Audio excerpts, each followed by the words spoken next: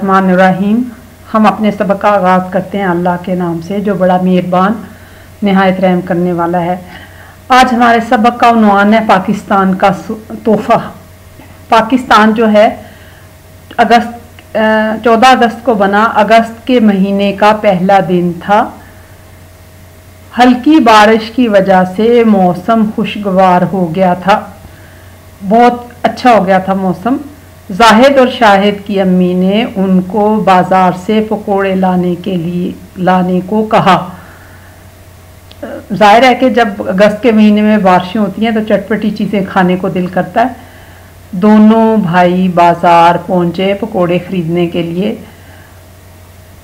लोग ठेलों पर पाकिस्तान के झंडे बेच रहे थे। यानी एक अजीब बात थी कि ठेलों पर लोग पाकिस्तान के झंडे बेच रहे हैं, दुकानों पर भी परचम लगे हुए थे। झंडे को परचम भी कहते हैं। डाक खाने पर डाकिया चचा कुमकुमे सजा रहे थे। छोटी जो जो लाइट्स होती हैं, इनको कुमकुमे कहते हैं। जाहिद, भाई, बाज़ार कितना प्यारा लग रहा है। आज कोई ख़ास दिन है। यानी आज किसी ख़ास वजह से बाज़ार को इतना सजाया गया है।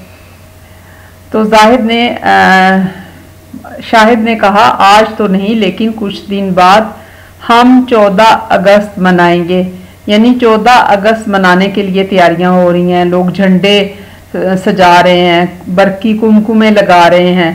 जाहिद क्यों भाई? क्यों हम 14 अगस्त क्यों मनाते हैं? शाहिद ने जवाब दिया क्योंकि 14 अगस्त पाकिस्तान की तारीख का सबसे अहम दिन है। 14 अगस्त उन्नीस को पाकिस्तान बना था। ये और बात है कि हमने सिर्फ़ जश्न मनाने तक इसको महदूद कर लिया है। ये तो बहुत पुरानी बात हो गई है। हम अब तक ये दिन क्यों मनाते हैं? हमें तो ये दिन बनाना चाहिए था कि हमारे लीडर कायद अजम और इकबाल ने ये मुल्क क्यों हासिल किया? शाहिद, जैसे तुम हर साल अपनी सालगिरह मनाते हो, इसी तरह सब पाकिस्तानी इस दिन पाकिस्तान की सालगिरह मनाते हैं। सालगिरह तो वैसे बनानी नहीं चाहिए, एक दिन ज़िंदगी का कम हो जाता है। देखो, सबने अपनी दुकानों और घरों को झंडियों से सजाया है, लेकिन हम क्या हमारा काम सिर्फ़ झंडियों से सजाने से पूरा हो जाता है? 14 अगस्त को टेलीविज़न पर मिली नगमे लगेंगे। टेलीविज़न देख के तो लगता है कि पाकिस्तान में दूध और शहद की नहरें बह रही हैं, लेकिन नगमे गाने से क्या जो ज़मीन पे हकायक हैं, वो वैसे ही हो जाते हैं। हमारे स्कूल में एक तकरीब भी होगी। इस तकरीब में तो बच्चों को पाकिस्तान के मकसद के बारे में बताना चाहिए, उन कुर्बानियों के बारे में बताना चाहिए जो हमारे बड़ों ने पाकिस्तान हासिल करने के लिए दी। जाहिद, मेरी सालगिरह पर तो अबू ने मुझे गेंद लेकर दी थी। हम पाकिस्तान को सालगिरह पर क्या तोहफा देंगे? तो तोहफे तो वैसे भी लेने देने चाहिए, इससे मोहब्बत आपस में बढ़ती है, लेकिन एक दिन को मखसूस कर लेना ये ज़रूरी नहीं होता। शाहिद सोचने के बाद एक काम करते हैं, पाकिस्तान की सालगिरह पर हम अपने स्कूल और मोहल्ले को साफ़ करेंगे। हम एक दिन सफ़ाई करके बैठ जाते हैं, ये तो रोज़ का काम है। और ये वादा भी करें, कर लेंगे कि हम आइंदा इन जगहों को साफ़ रखेंगे, ठीक है। यानी ये हमें रोज़ सुबह उठ के वादा करना चाहिए कि वो कौन से काम है जो मैंने एक दफ़ा नहीं करने, रोज़ बार बार करने हैं। जाहिद जी भाई पाकिस्तान को हमारा तोहफा बहुत पसंद आएगा। हम सब पाकिस्तानी हैं, हमने ही अपने मुल्क को बनाना है। बाहर से आके तो कोई हमारी गंदगी साफ़ नहीं करेगा। आज़ादी का दिन अभी तक पहुँच से चिमटी हैं जंजीरें गुलामी की। दिन आ जाता है, आज़ादी का। आज़ादी नहीं आती जब तक हम अपने मुल्क से भूख, जहालत और गंदगी साफ़ नहीं कर सकते। हमें चैन से नहीं बैठना। बहते लहू में सब तेरा मफहम बह गया। चौदह अगस्त सिर्फ़ तेरा नाम रह गया। हमें कायद अजम और अलामा इकबाल के अफकार को ताज़ा करने की ज़रूरत है अपनी रूह में बसाने की ज़रूरत है। पढ़ें। आ, ये कुछ मुश्किल अल्फाज हैं आप इनको पढ़ें इनका मतलब समझें और इनको लिखें भी। खुशगवार। खुशगवार का मतलब होता है जो देखने में महसूस करने में अच्छा लगे। खुशगवार। पहुँचे किसी जगह पे पहुँचना चल के, भाग के, मंजिल, जो बंदा मंजिल जिस जगह पे पहुँचना चाहता है। हैरान, अचानक बंदा कोई चीज़ देखे तो वो एकदम सटपटा जाता है, हैरानी का इजहार करता है। भीड़, जब बहुत ज़्यादा लोग इकट्ठे हों, रश हो तो हम कहते हैं, भीड़ हो गई है।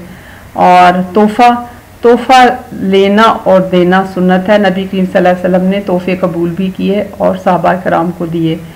तकरीब कोई भी जब तकरीब होती है, कोई पार्टी, कोई गैदरिंग, इकट्ठ होना, अगस्त 14 अगस्त उन्नीस को पाकिस्तान बना था। और पकोड़े पकोड़े बरसात में आमतौर पे लोग बनाते हैं आलू के, पालक के, और पाकिस्तानी लोग बहुत शौक से खाते हैं। बाज़ार जहाँ पे चीज़ें बिकती हैं, लोग ख़रीदने जाते हैं, मार्केट परचम जो है, परचम झंडे को भी कहते हैं पाकिस्तान का परचम दो रंगों का है, सफ़ेद और सबज। गेंद, छोटा गेंद भी होता है, बड़ा गेंद भी होता है, फुटबॉल भी गेंद से खेलते हैं, क्रिकेट भी गेंद से खेलते हैं।